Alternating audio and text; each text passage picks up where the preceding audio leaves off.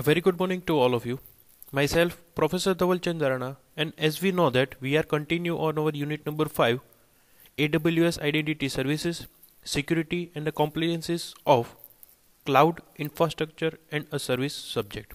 Guys, in a CI subject, we are continue to watch all the basic terminology of unit number 5 in form of security, mechanism, identity and access mechanism as well as how to provide a permissions for accessing resources or in form of services which is available in concept of AWS.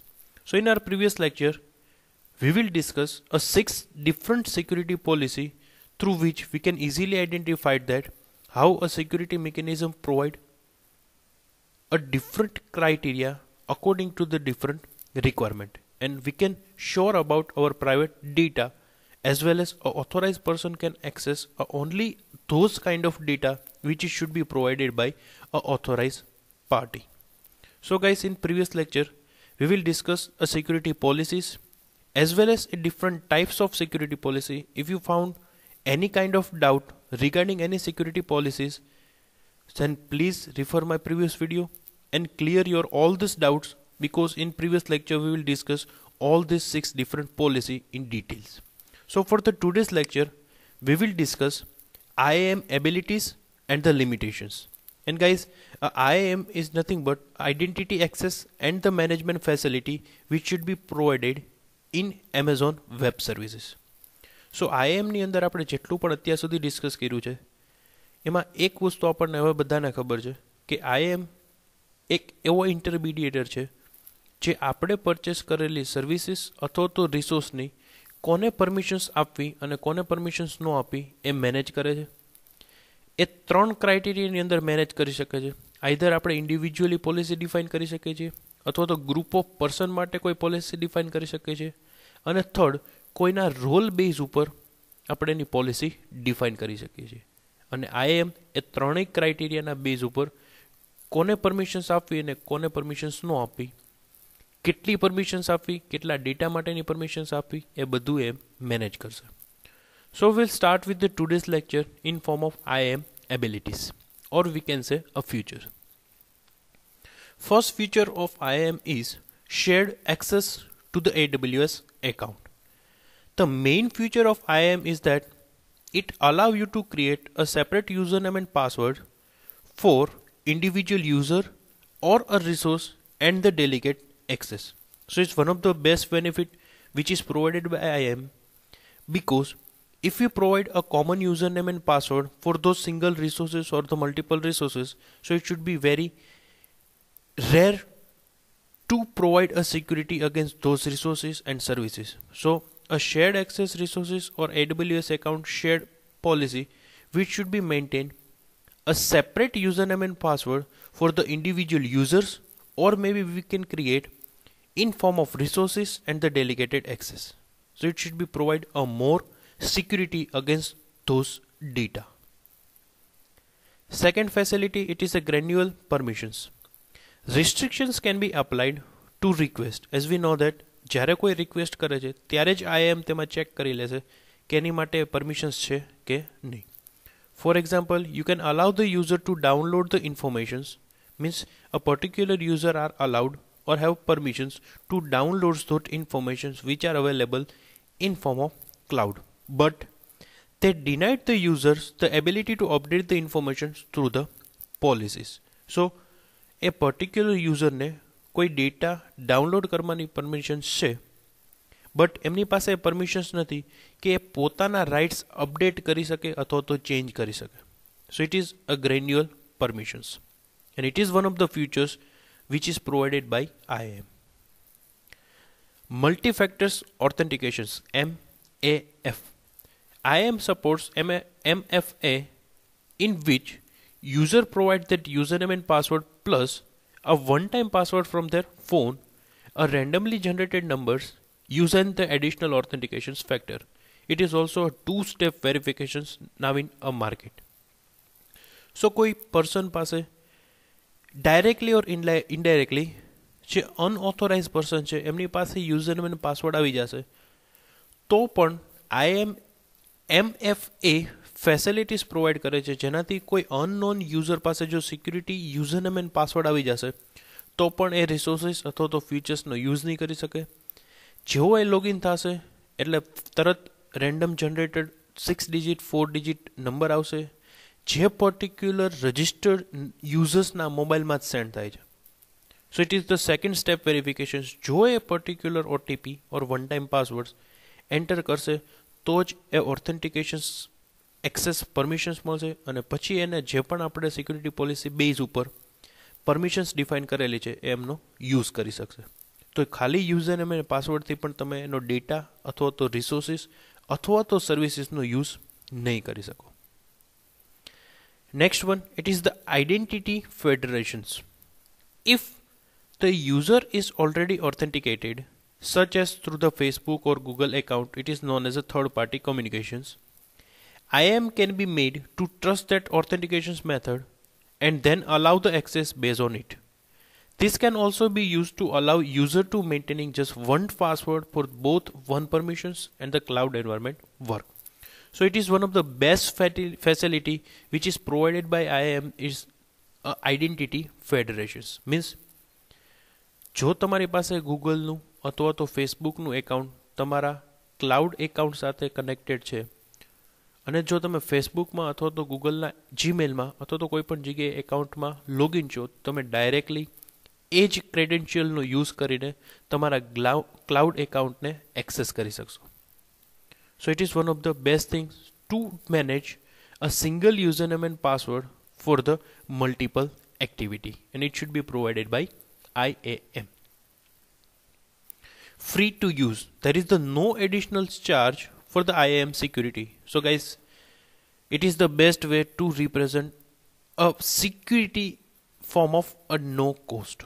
There is the no additional charge for the creating or additional users group or policy. So it is the best thing to provide the security against our resources, against our services which should be shared among the users, group of users or in form of role based users. So we need to use those facility without pay any additional charges.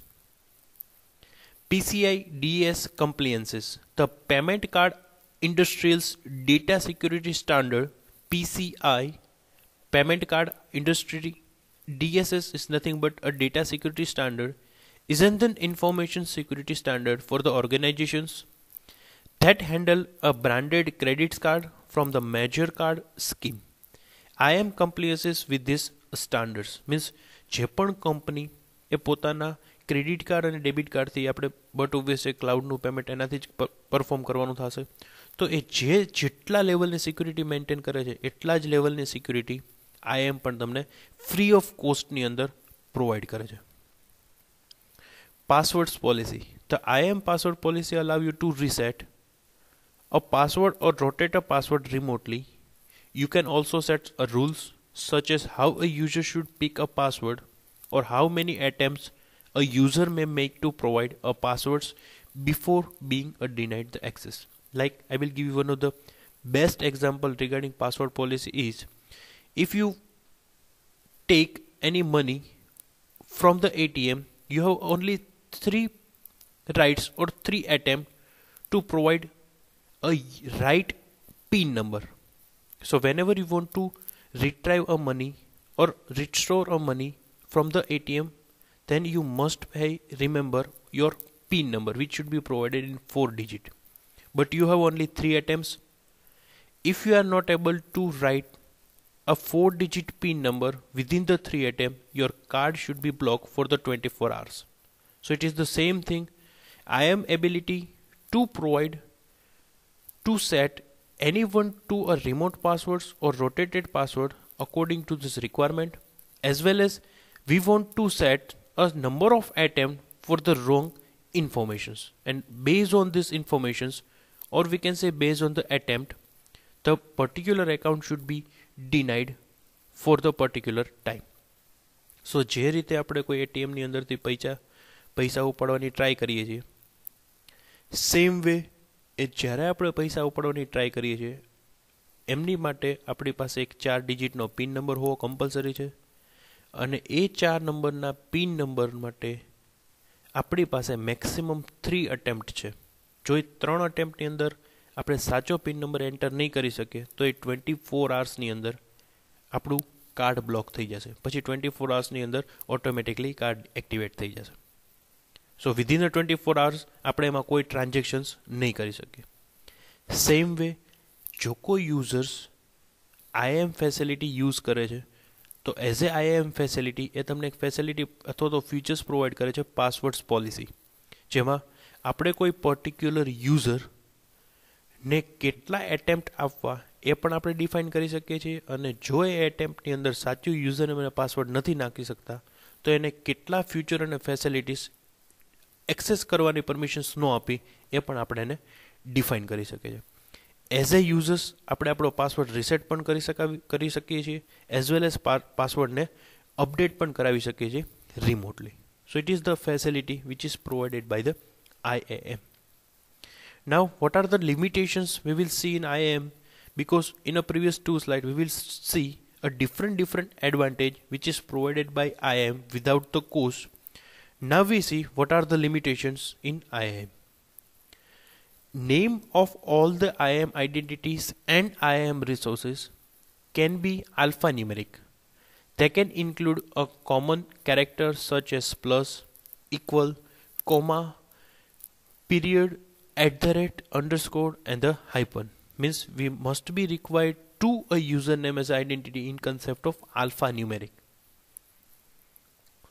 Name of IAM identities in form of user role and groups must be unique within the AWS account means we can't create a single name user with a different different facility each and every time we must be required some unique name for those a single user for the roles as well in form of groups must be unique within this AWS account so you can't have two groups name developers and the developers in your AWS account because જો આપણે એવું define કરશું કે એક નેમના multiple account રાખશું તો security mechanism અથવા તો આઈએમ વેરીફાઈડ નહીં કરી શકે કે કયું, કયા યુઝર્સને પરમિશન્સ આપવી અને કયા યુઝરને પરમિશન્સ ન આપવી તો આપણે જેટલા પણ સિક્યુરિટી પોલિસીસ ક્રિએટ કરીએ છીએ અથવા તો જેટલી પણ સિક્યુરિટી પોલિસી ક્રિએટ કરીએ છીએ, એ બધાનું નેમ યુનિક આપવું કમ્પલસરી છે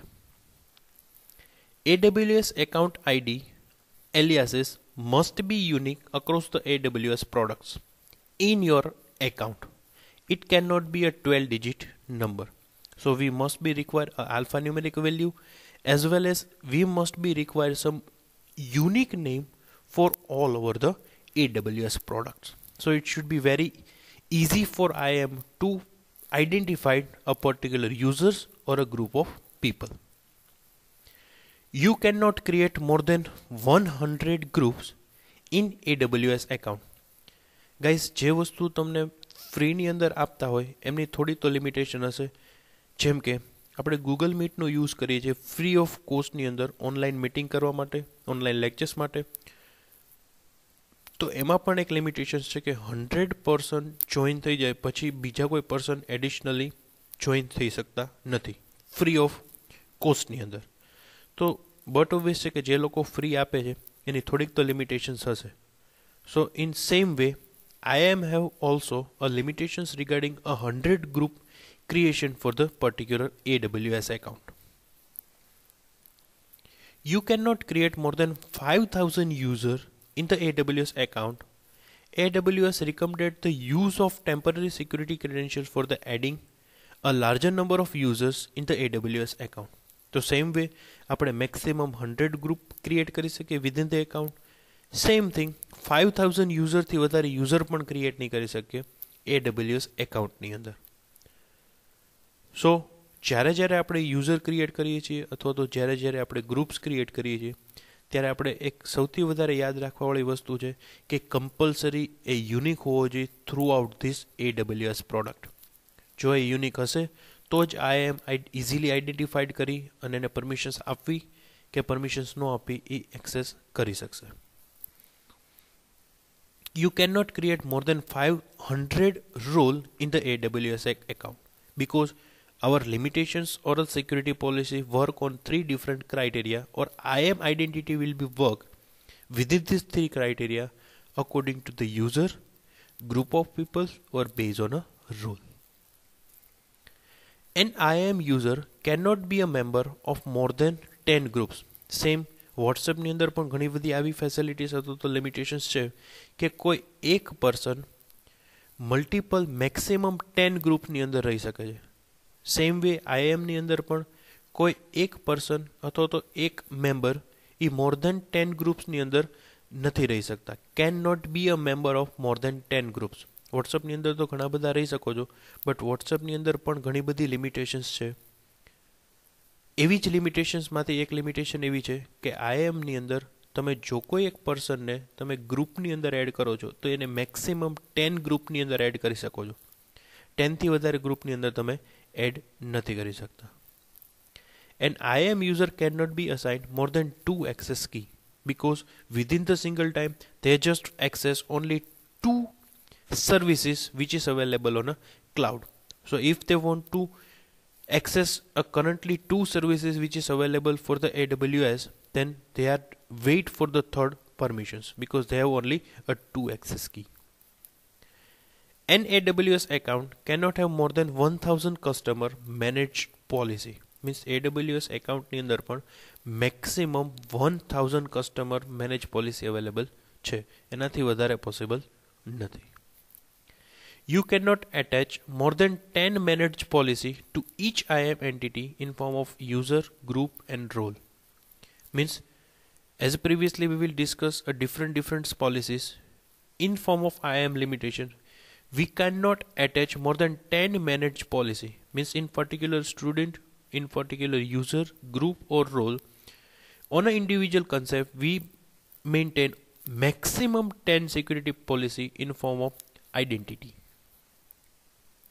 You cannot store more than 20 server certificate in an AWS account.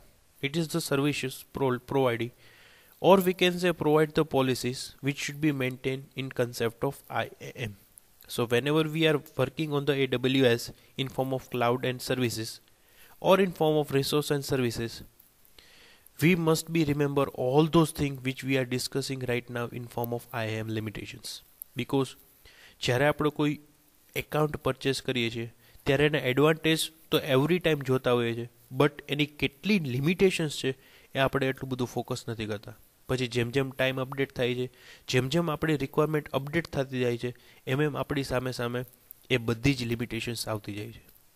તો જે પણ એગ્રીમેન્ટ્સ કરો છો, અથવા તો જ્યારે પણ કોઈ સર્વિસીસ અથવા તો રિસોર્સ પરચેસ કરો છો in form of cloud you must be remember all those things in concept of limitations as well as in form of advantage you cannot have more than 100 SAML provider in an AWS account so it is also a things which we want to remember that whenever we share our resources as well as in services we can't share more than 100 provided to as an AWS account.